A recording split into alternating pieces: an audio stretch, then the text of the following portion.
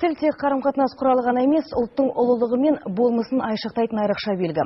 Тіл меңгеру халықты жағын білуге, мәдениетімен етене танысуға жол ашады. Алайда жаһандану заманында өзге тілдің бәрін біліп, өз тіліңе деген құрмет ерекше маңызды болуы тиіс.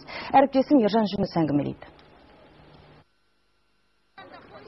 Қазақ тілін меңгеру әрбір отандасымыздың азаматтық борышы. Өйткені мемлекеттік тіл елімізде тұратын барлық ұлттар мен ұлыстарды біріктіруші фактор. Сол себепті бүгінде қазақ тілін меңгеруге құлшыныс білдіріп жүрген өзге ұлттың өкілдері аз емес. Тіпті қазақ тілін тез меңгерулері үшін балаларын қазақ балабақшаларына беріп жатыр.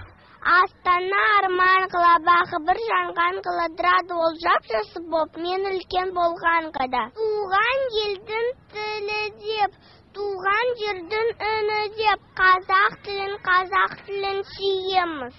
Катя 4 жаста осыдан екі жыл бұрын анасы Анна қызының қазақ тілін меңгеру үшін қазақтың балабақшасына өзі жетектеп барған. Мемлекеттік тілді үйрену баламның болашағы үшін аса маңызды дейді Анна Добродиенко. Она разговаривает у меня на казахском языке. Қызым қазақша үйреніп жатыр. Бұл тілді ол жетік меңгергенін қалаймын. Қазақстанда тұрғаннан кейін мемлекеттік тілді кез келген азамат білуі тиіс. Өкінішке қарай жанұямызда Катядан басқа ешкім қазақ тілінде сөйлемейді. Біз одан көп үйренуіміз қажет. өзге ұлт өкілдері балаларын бұл балабақшаға қазақ тілін үйренсін өйткені бұл тіл бізде қазір қажетті болып жатыр. Сол міне біз сабақта балалар методикамыз біздің әртүрлі ойындар арқылы балалардың қызығуш- қызығушылығын арттыра отырып ә, сондай бір әдісті қолданып қазақ тіліне балаларды біз ә, бағыттаймыз бағыттап үйретіп